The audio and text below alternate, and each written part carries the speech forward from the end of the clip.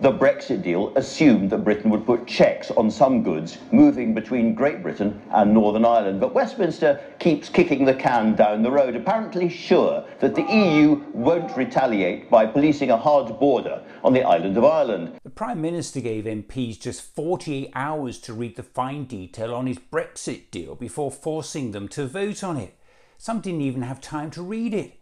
If they had, they would have known that when Johnson said this. They should believe exactly what I say, which is there will be no checks on goods going from uh, GB to NI, uh, from NI to, to GB. This document is talking about checks both ways. And that's wrong, so, because there won't be checks. So you're saying that this, this is wrong, the government's own impact assessment is wrong, your Brexit secretary is wrong, all these people are wrong, and you're well, right. Yes, because, because there, there's no question of there being checks on goods going uh, NIGB or GBNI. Shoppers in Northern Ireland have been facing bare shelves at some supermarkets since the 1st of January, for, following the uh, UK's trade separation from the EU after Brexit.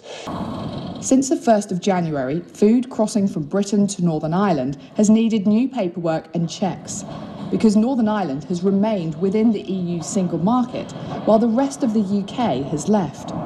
It means that an entire lorry load can be held up at ports like Belfast, even if only one item on board doesn't have the correct customs declarations filled out. It was barefaced lying.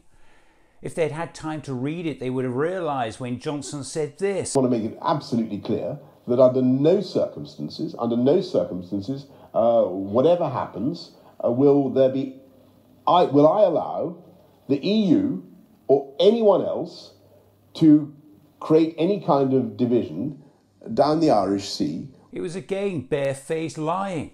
And also when he said this. And there'll be no non tariff barriers to, to trade. It seems Johnson himself didn't read the detail in his own deal.